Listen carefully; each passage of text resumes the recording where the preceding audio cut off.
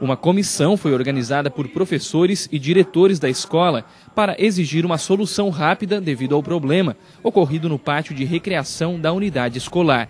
A ala está interditada há aproximadamente dois meses. Segundo este professor, está praticamente impossível conter as crianças nos dias de chuva. Nas aulas de educação física, a gente sempre leva os alunos ali para o pátio coberto, que é onde a gente tem um local um, um pouco já em melhores condições para a gente trabalhar com os alunos.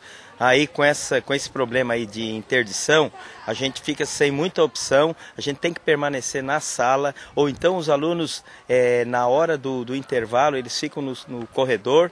A gente tem promessa da SDR de, de reformar aquilo ali, arrumar, mas nós estamos na espera e isso está ocasionando um transtorno muito grande. Numa reunião realizada hoje na Secretaria de Desenvolvimento Regional de Tubarão, foi discutido a melhor forma de solucionar o problema.